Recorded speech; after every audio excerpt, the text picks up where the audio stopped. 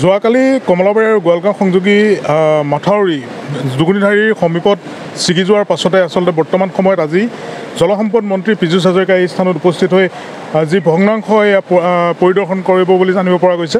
আৰু বৰ্তমান সময়ত দেখুৱাইছোঁ যে যি পৰিৱেশ আছিলে সেই যি দূৰত্ব আছিলে সেই দূৰত্ব বৰ্তমান সময় বাঢ়ি বাঢ়ি গৈ আছে। ইয়াৰ লগতে কেইবাটাও পৰিয়ালে দুটাকৈ পৰিয়ালে সম্পূৰ্ণ নিজৰ বাসগৃহ হেৰুৱাই পেলাইছে।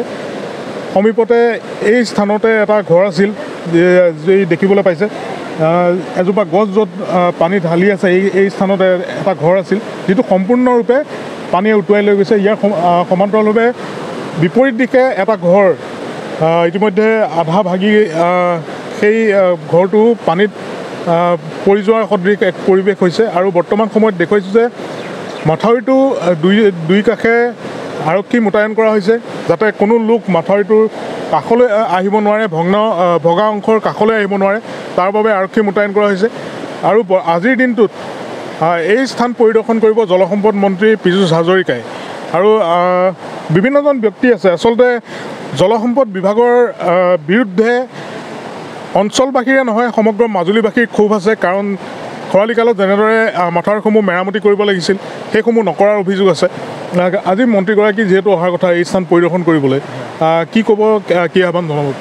নহয় চাওক যে জলসম্পদ বিভাগৰ যিখিনি কাৰ্যকৰ্তা মাজুলীত যিখিনি কাৰ্যকৰ্তা আছে তেখেতলোকে যদি সময়মতে যদি ৰাস্তাটো যদি ভালকৈ চোৱা চিতা কৰিলেন বা বিশেষকৈ যিখিনি কালভাৰ্ট আছিল ছুইচ গেট আছিল। সেই ছুইচ গেটখিনি নখোলাটোৱে এই মাথাউৰিটো ছিগাৰ মূল কাৰণ। আমি বাৰম্বাৰ ইয়াৰ দায়িত্বত থকা ব্যক্তিসকলক আমি ছুইচ গেট খুলিবলৈ কৈছিলোঁ।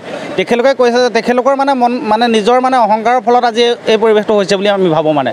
এইখিনি সম্পূৰ্ণৰূপে এঘৰ মানুহ পুণ্য শইকীয়া তেখেত এগৰাকী মহিলা হয়। তেখেতৰ ঘৰ সম্পূৰ্ণৰূপে নিশেষ হৈ গৈছে। অপজিট দিশত বলীন শইকীয়া। সেই ঘৰ সম্পূৰ্ণৰূপে নিশেষ হৈ গৈছে। কিনাৰতে আছে দিলীপ শইকীয়া থগেশ্বৰ শইকীয়া। এই অকণটোলক সেই তিনি ঘৰলৈ এতিয়া মানে বহুত আশংকাত থাকিবলগীয়া হৈছে কি হ'ব মানে কোন মুহূৰ্তত কি হ'ব কোনো মানে নিশ্চয়তা নাইকিয়া হৈ আছে।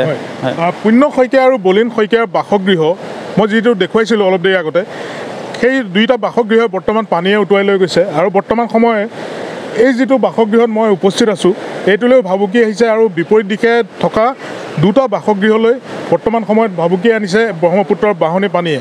কাৰণ এই সমগ্ৰ ব্ৰহ্মপুত্ৰ নদীখন এতিয়া মাজুলীৰ মধ্যভাগলৈ গতি কৰিছে। আৰু তীব্ৰ সোঁতত বৰ্তমান সময়ত এনেদৰে গতি কৰিছে আহ, মধ্যভাগলৈ ইয়াৰ ফলত পঞ্চাছখনতকৈ অধিক গাঁও বৰ্তমান সময়ত প্লা- প্লাবিত হৈছে। আৰু বিভিন্ন ন ন অঞ্চল আচলতে এই, সোমাই অহা ব্ৰহ্মপুত্ৰ নদীয়ে প্লাবিত কৰি তুলিছে।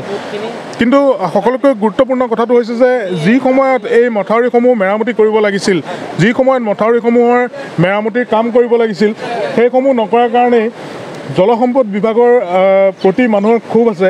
আৰু যিহেতু মেৰামতি যি সময়ত কৰিব লাগিছিল সেইসমূহ নকৰাৰ কাৰণে বৰ্তমান সময়ত এনে পৰিস্থিতি হৈছে বুলি ৰাইজে অভিযোগ উত্থাপন কৰিছে।